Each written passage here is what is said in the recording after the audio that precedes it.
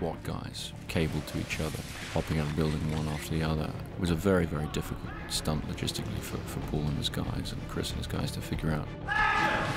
But I felt that it was very important with our final action set piece that we finish with something real because we knew we were going to do most of it on a set and have it be quite claustrophobic.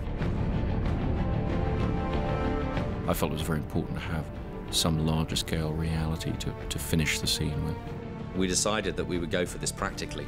The McClurg building in Chicago was under building was under construction. We went to the building's owners, our location department, met with them. We explained what we wanted to do, and you can imagine going in to a construction site where safety is everything. And your initial pitch is, we want to throw five people off the top of your building and attach them with string, and they'll just dangle there at night and have two helicopters really close to the building. In the movie, it's a moment, but I think we rehearsed it for three weeks. Obviously, rehearsed with weight bags before we put men on it. Had to build a special ramp so they could all slide out. Each man had an individual rigger looking after each individual guy.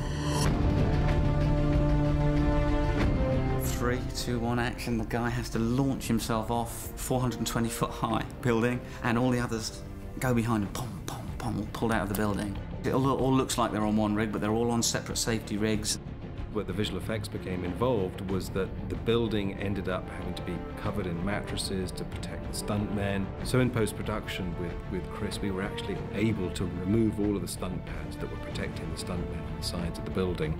And the other great thing about it is on that rope, there was Chicago stuntmen, there was LA stuntmen, and there was British stuntmen. And they're all up there together, all just helping each other out and working as a team. Step away from the Hopefully, when you see that scene, it'll be as dramatic as it looked on the night.